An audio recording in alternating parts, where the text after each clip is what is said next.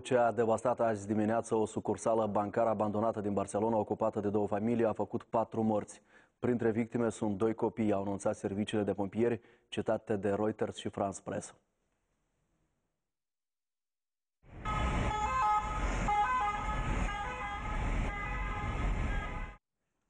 Pompierii au salvat patru persoane și au încercat să resusciteze alte patru, doi adulți și doi copii, care până la urmă au murit, au anunțat pompierii.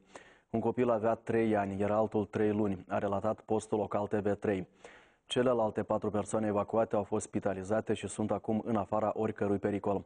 Un purtător de cuvânt al poliției a spus că două familii locuiau în sucursala băncii. Cauza incendiului nu este cunoscută deocamdată. În Barcelona sunt numeroase clădiri abandonate, nepotrivite pentru cazare, dar ocupate ilegal de oameni fără adăpost.